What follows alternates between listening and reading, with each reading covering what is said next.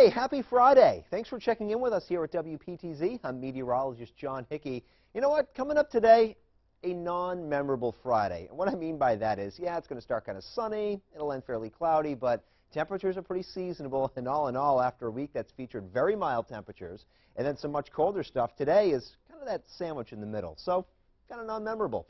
Messy weekend storm on the way, though. Okay, we're going to see some rain. That'll change to snow, and the highest impacts from the storm are going to come late Saturday night, first thing Sunday, as that rain switches over to some snow. So let's take you through Futurecast, give you an idea of the timing, and of course you can always follow along with the timestamp here in the upper portion of your screen. So this is Friday.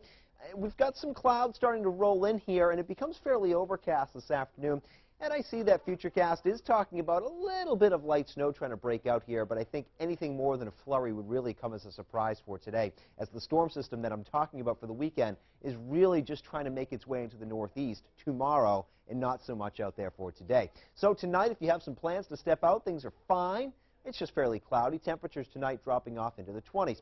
Now here comes your tomorrow and things are starting to get a little bit more active around here. Notice the rain showers trying to break out across the Mohawk Valley, and that's trying to move its way off to the north and the east. But I think your Saturday starts dry. We'll find some showers developing through the day, and again, it's mainly of the rain variety. The highest of elevations may see some wet snowflakes, but even there I expect to find at least just a mix of rain and snow, not a pure snow, except perhaps across, say, Mount Mansfield or maybe the top of, say, the high peaks in the Adirondacks. But Continue to note the timestamp here because this is when things start to change and they change pretty rapidly. Saturday night, that rain changes over to some snow as our storm system really starts to intensify and move off the coast, pulling in some colder air. Notice the snow going first thing in the morning on Sunday for the Adirondacks as well as the Seaway Valley. And that snow is trying to break out even into the Champlain Valley. And that does happen by Sunday morning as maybe you're trying to get a little early morning grocery shopping done. Notice the widespread snow across the entire region.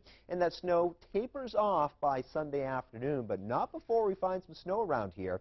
And let's take you through your snowfall forecast.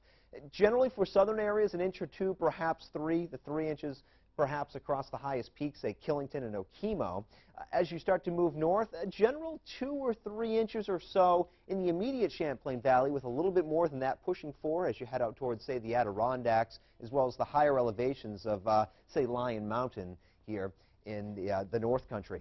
Hop on over to the Vermont side of things, couple of inches possible for the Northeast Kingdom, but more than that for the ski areas across the spine of the Green Mountains, and then some higher totals as you head off in towards, say, the Allagash of Maine. So breaking down your five-day plus two forecast today, with the increase in clouds, we have the snow and rain arriving during the day Saturday with the snow mostly at night. Snow showers continue through your day on Sunday. Monday's okay.